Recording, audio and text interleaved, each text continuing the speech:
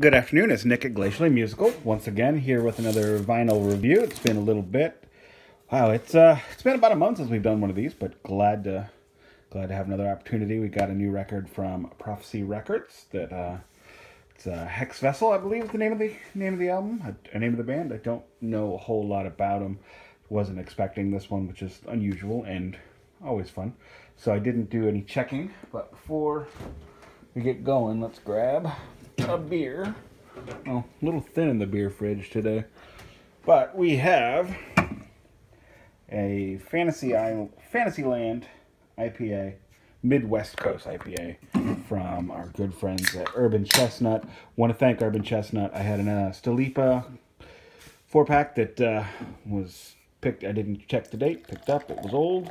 Exploded on me, and they replaced it. It wasn't their wasn't their fault, but they took care of me. So big thanks to that. And uh, yeah, I've been playing my Dreamcast lately.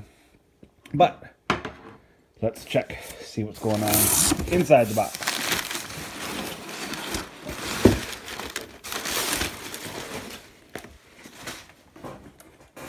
So the artist is Hexvessel. The album is All Tree.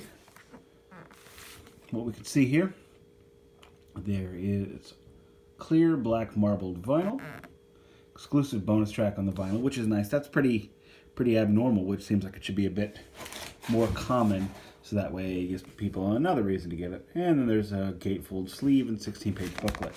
Let's take a look, see what is inside.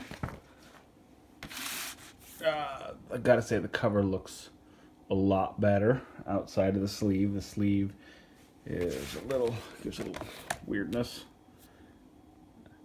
That is a cool cover on the back. I dig that. That's that's a cool that's a cool back cover. Cool picture. Burning tree. With it hit by lightning? Yeah, probably.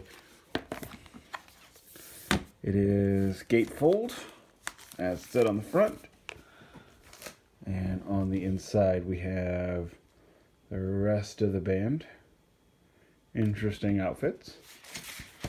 And let's see, over here we have the booklet. Anything else in there? Mm, nothing on that side. What about over here?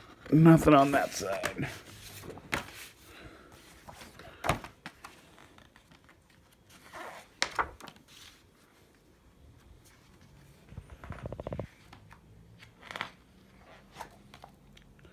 Lyrics, pictures.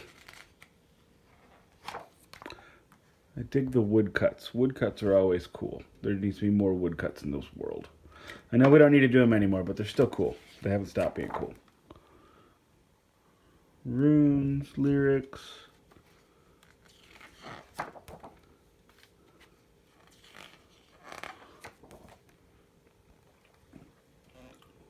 And a skull. That looks like an elk skull, which is cooler than using a goat skull. Goat skull's been done to death. Let's use different skulls. Cool picture of an altar. More runes. And nude people. Okay, fair enough. No judgment. They seem to be fairly pagan, so we can accept that. Now, the record itself. Now, let's put this out the window so you can see. That is cool. I love a black smoke color. And Side A is clearly marked. That's a nicer touch than it should be.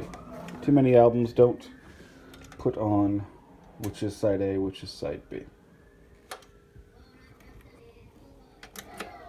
Sorry about that. I forgot I've been listening. I was it was 45 RPM. Sorry, sorry. That was the last one I listened to.